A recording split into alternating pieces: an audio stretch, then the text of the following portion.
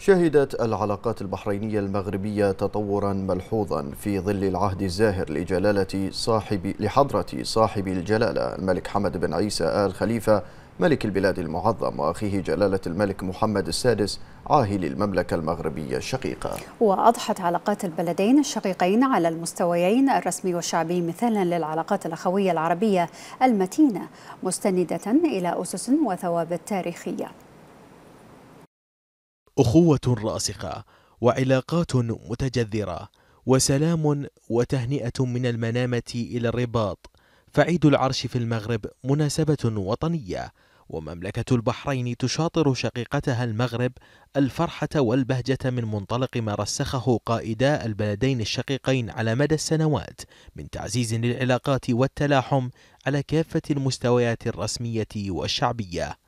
شهدت العلاقات البحرينية المغربية تطورا مع إشراقة القرن الحادي والعشرين وحرص جلالة الملك المعظم حفظه الله ورعاه وأخيه عاهل المملكة المغربية الشقيقة على تحقيق ما فيه صالح البلدين والشعبين الشقيقين من خلال العديد من الخطوات الجوهرية على كافة المستويات السياسية والاقتصادية وغيرها من مجالات التعاون المشترك والتي أضحت بسببها علاقات البلدين على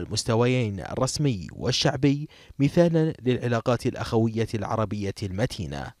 العهد الزاهر لجلالة الملك المعظم أيده الله شهد أيضا زيارات ولقاءات مشتركة جمعت بينه وبين أخيه عاهل المملكة المغربية وهي الزيارات التي شهدت دائما لقاءات بحرينية مغربية جمعت الأشقاء في رحاب الخليج العربي وعلى سواحل الأطلسي. والهدف الأسمى كان التأكيد على وحدة المصير المشترك للبلدين وتحقيق كل ما يصب في صالحهما تحقيقا لرؤى القائدين حفظهما الله في تنمية هذه العلاقة الأخوية البحرينية المغربية. العلاقات الشعبية أيضا ونظرا للأخوة الراسخة بين عاهلي البلدين تعززت بشكل أكبر فما يجمع الشعبين الشقيقين من ثوابت مشتركة وتقارب في مختلف المجالات انعكس على تواجد أبناء المغرب في البحرين وأبناء البحرين في المغرب فهم في بلد الكرام مهد السلام ومنبت الأحرار مشرق الأنوار.